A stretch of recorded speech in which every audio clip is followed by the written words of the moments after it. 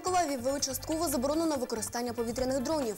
В Україні підвищили мінімальну заробітну плату. Доброго ранку. В ефірі телевізійні новини Миколаївщини. В студії для вас працює Світлана Кльосова. Протягом прямого ефіру на екранах ви бачитимете нашу електронну адресу, за якою зможете звертатись до редакції, а також посилання на наш ютуб канал та сторінку у мережі Facebook.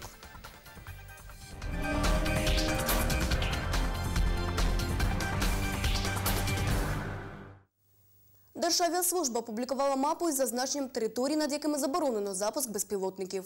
За даними, опублікованими на офіційному сайті відомства, в Миколаєві квадрокоптери не можна запускати на територію Інгульського і Корабельного районів. Під заборону потрапили ділянки від вулиці Другої набережної і до епіцентру на перегоні між Широкою Балкою та Корабельним районом, від вулиці Першої Ольвійської і до траси на Мелітополь. Не можна літати над вулицею Космонавтів, проспектом Богоявленським, Херсонським шосе, Баштанським шосе, вулицею Кірова тощо. Заборона стосується мікрорайонів Матвіївка і Баловне. Заборонено запускати дрони над заводами «Зорямашпроект», Сандора, Миколаївським міжнародним аеропортом. Під заборону потрапили всі військові полігони та вся територія Кінбурнської коси.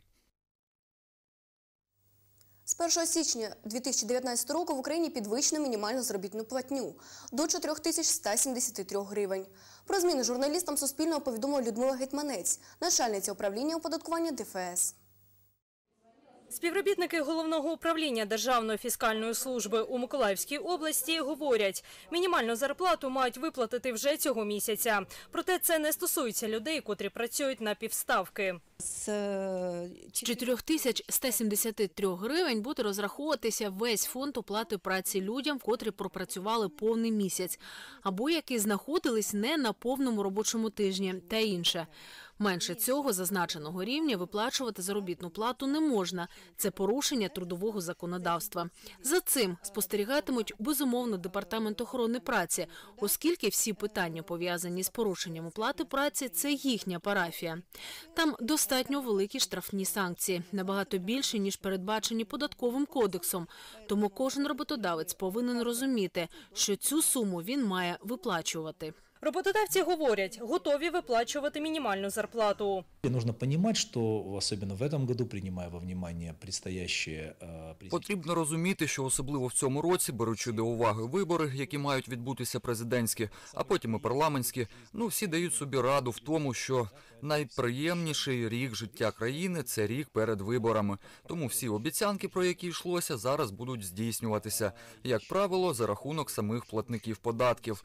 Я вважаю, той рівень заробітної плати, котра називається мінімальна, в будь-якому випадку не відображає фактичної вартості оплати праці людей. Про те, що зарплата видається у конвертах, це не новина. Про це говорять всі і підприємці, і політики. І, звісно ж, Державна фіскальна служба. Тому, на мій погляд, це спроба продовжувати процес її виведення з тіні. Тобто, в будь-якому випадку, введення мінімальної заробітної плати призведе до того, що всі будуть зобов'язані піднятися до її рівня. Але з іншого, приємнішого для держави, саме від цієї суми підприємець повинен буде нараховувати і виплачувати податкову базу. Ну, звісно ж, це підвищить податкові надходження.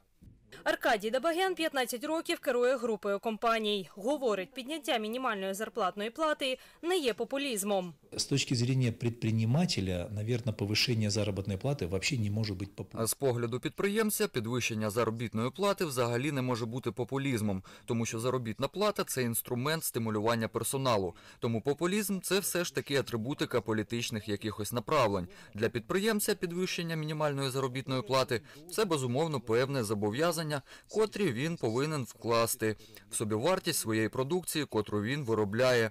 Або в разі комерції продає.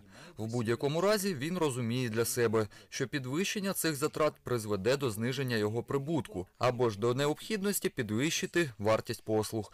Тобто популізм однозначно ні.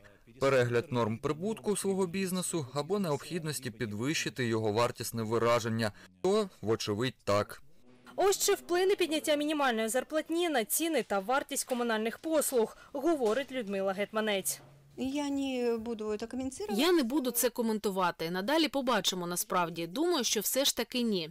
Думаю, що таке незначне підвищення мінімальної заробітної плати, котре наразі закладене бюджетом, воно не призведе до ніяких особливих наслідків, таких, що ми з вами відчуємо. Євгенія Голубова, Ігор Чорний, телевізійні новини Миколаївщини. На цьому ранковий блок телевізійних новин Миколаївщини завершено. Зустрінемось по обіді о 13.30. Обов'язково дочекайтесь, а я прийду слово у студію нового дня.